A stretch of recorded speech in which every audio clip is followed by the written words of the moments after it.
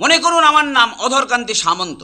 মনে করুন, আমি একজন খুব ধনী লোক, সাদা এবং কালো, সব রকমের ব্যবসা আমার আছে। কিংবা মনে করুন, আমি একজন সর্বত্যাগী, কিন্তু সন্ন্যাসী নই। আমি দেশের কাজ করতে চাই, দেশের জন্য আমার মন কাঁদে, তাই দেশের জন্য আমি জীবনপাত করতে চাই। আমার মনটা দেশের কল্যাণ সাধনের জন্য সর্বদা ছটফট করে, অথচ আমি কিছুতেই কাজ করার সুযোগ পাচ্ছি না। আপনারা যদি ভোট দিয়ে আমাকে অ্যাসেম্বলিতে পাঠান আমি কথা দিচ্ছি। আমি আপনাদের হয়ে সেখানে গিয়ে প্রচুর লড়াই করব। আপনাদের হয়ে বলব কি বলবেন? আরে দুর্দান্ত বাবু যে হ্যাঁ আমি বলব কি বলবেন? আমি আমি কিছু বলব না। হ্যাঁ তদর বাবু আপনার মাথায় এসব ভূত চাপলো কবে থেকে? বেশ তো সাদা কালো ব্যবসা করে চালিয়ে যাচ্ছেন। আবার ইলেকশনে নামতে গেলেন কেন? কেন? কেন নামবো না? ইলেকশনটা কি তোমার সম্পত্তি? আমার আমি আমি দেশের অগণিত জনসাধারণের জন্য ফিল করি। কি ফিল করেন? আমি ফিল করি। কি ফিল করেন? আমি নিশ্চয়ই কিছু একটা ফিল করি কিন্তু এখন আমার মাথায় কিছুতেই সেটা আসছে না। বাবু আপনি শুধু একটা জিনিসই ফিল করতে পারেন সেটা কি জানেন? কি কি ভাই? একটু বলো তো লেকচারটা আমি কিছুতেই গুছিয়ে উঠতে পারি না কি করে পারবেন? ভালো লেকচার দিতে হলে লেখাপড়া শিখতে হয়। হ্যাঁ, হ্যাঁ। আপনি তো আবার লেখাপড়া করেননি কোনো হ্যাঁ হ্যাঁ হ্যাঁ তাজা বলেছ। হ্যাঁ। কি বললে? হ্যাঁ। আমি লেখাপড়া করিনি। হ্যাঁ। জানো আমার বাড়িতে কত দামি দামি বই আছে। হ্যাঁ। জানো সে বই আমি কাকেও ছুতে দিই না আমি নিজেও ছুঁই না। জানো আমি কত দূর পড়াশোনা করেছি। কত দূর করেছেন? আমি এত দূর করেছি। কত দূর করেছেন? আমি প্রথমে পাঠশালায় পড়েছি। তারপর আমি তারপর আপনি? তারপর আমি তারপর আপনি? তারপর আমি আর পড়িনি। বাহ। কারণ আমি ইউনিভার্সিটির শিক্ষা প্রণালীতে বিশ্বাস করি নে আমি রবিদার মতো বাড়িতে বসে লেখাপড়া শিখেছি। রবিদাকে? ওমা রবিদাকে চেনো না? রবিগুরু কবীন্দ্রনাথ জয় গুরু জয় গুরু জয় গুরু তা আপনি তাহলে কাদের টিকিটে দাঁড়াচ্ছেন? টিকিট? হ্যাঁ? আমি টিকিট ফিকিটে বিশ্বাস করি নে আমি অলওয়েজ উইদাউট টিকিট জয় গুরু জয় গুরু তাহলে আপনি কি স্বতন্ত্র? হ্যাঁ হ্যাঁ না না তন্ত্র তন্ত্র নয়। আমার দলের অন্য মন্ত্র। আ তাহলে আপনারও একটা দল আছে। হ্যাঁ সেইটাই ভারতবর্ষের আজকে সর্বশ্রেষ্ঠ দল হিসেবে গণ্য। সেই দলই ভারতে আনবে চাঞ্চল্য সেই দলই ভারতে আনবে উশৃঙ্খলতা মানে বিশৃঙ্খলতা মানে সুশৃঙ্খলতা। কারণ সেটাই একমাত্র দল যে রিক্ত ভিন্ন ছিন্ন অগণ্য এবং এই দলই ভারতবর্ষকে জুতিয়ে লম্বা করে দেবে। আপনার দলের নামটা কি? আমার দলের নাম হচ্ছে। হ্যাঁ? মানে কি? অত মানে জানতে চেও না। আচ্ছা ঠিক আছে আপনাদের উদ্দেশ্যটা কি? আমাদের উদ্দেশ্য কাউকে না চটানো। কাউকে অসন্তুষ্ট না করা সবার সঙ্গে কাঁধে কাঁধ মিলিয়ে চলা সবাইকে দলে টেনে আনা আবার প্রয়োজন হলে সবাইকে ঘাট ধাক্কা দিয়ে দল থেকে বের করে দেওয়া অর্থাৎ গণেশ উল্টে দেওয়া। এবং যেখানে সুবিধে সেখানে ঢুকে পড়া। এক্স্যাক্টলি সো না মানে হচ্ছে গিয়ে শোনো। আমার একটা কথা শুনবেন? বলো।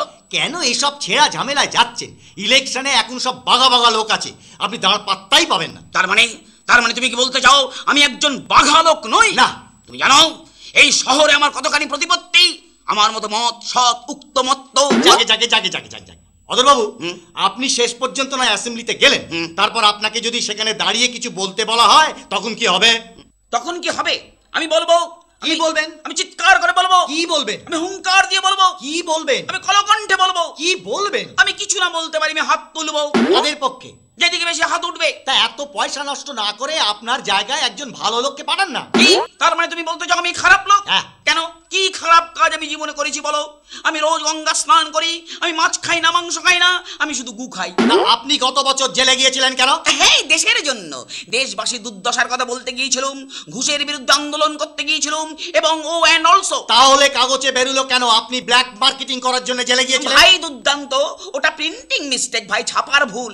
কাগজওয়ালার আমার কাছে ঘুষ চেয়েছিল আমি দিইনি তাই তারা আমার বিরুদ্ধে নো আমার কাছে ডকুমেন্টস আছে। আপনি যদি চান তো আপনাকে আমি দেখিয়ে দিতে পারি। ভাই দুর্দান্ত তুমি চড়ছ কেন? শান্ত হও নন ভায়োলেন্স হও।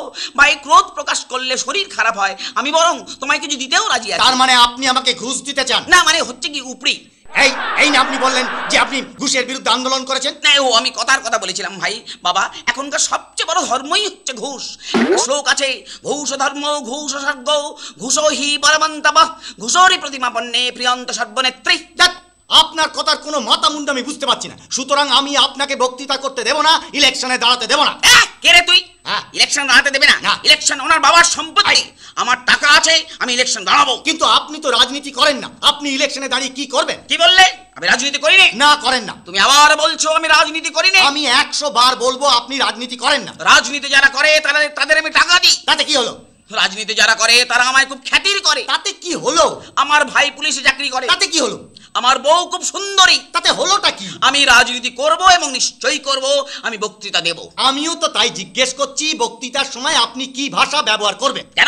আমার মাতৃভাষা? আপনার মাতৃভাষাটা কি? তুমি কি আমার সঙ্গে ইয়ার্কি করছ? আগে ইয়াক্কি কেন করব? আমি জানতে চাইছি আপনার মাতৃভাষাটা কি। আমার মাতৃভাষা বাঙালি মা- মানে বাংলা মানে বেঙ্গল। বাহ শুনে খুব খুশি হলো। এবার একটু বক্তৃতা করুন তো। আপনার বক্তৃতা যদি ভালো লাগে না তাহলে আপনার ওই আমি ক্যানভাস করব। হ্যাঁ? করবে তো হ্যাঁ, সত্যি? হ্যাঁ। আরে তোমরাই তো হচ্ছে দেশের রিয়েল কর্মী। তোমাদের সাহায্য ছাড়া আমরা দাঁড়াবো কোথায় বলো? ঠিক আছে বাবা বক্তৃতাটা হোক। হ্যাঁ শোনো শোনো। বন্ধুগণ ভাইগণ মাগণ বাবাগণ চামচাগণ ফোড়েগণ আমি আজ আপনাদের কাছে এসেছি। এসেছি আপনাদের কাছে। আপনার আপনাদের মাস্তানি দিয়ে দুর্নীতি দিয়ে আমায় সর্বরকমভাবে সাহায্য করুন।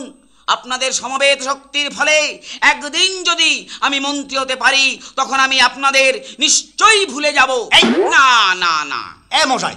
আপনি এইসব বক্তৃতা করবেন নাকি? কেন ল্যাঙ্গুয়েজটা আর একটু অশ্লীল করব তাহলে কমার্শিয়াল হবে? কিচ্ছু করতে হবে না।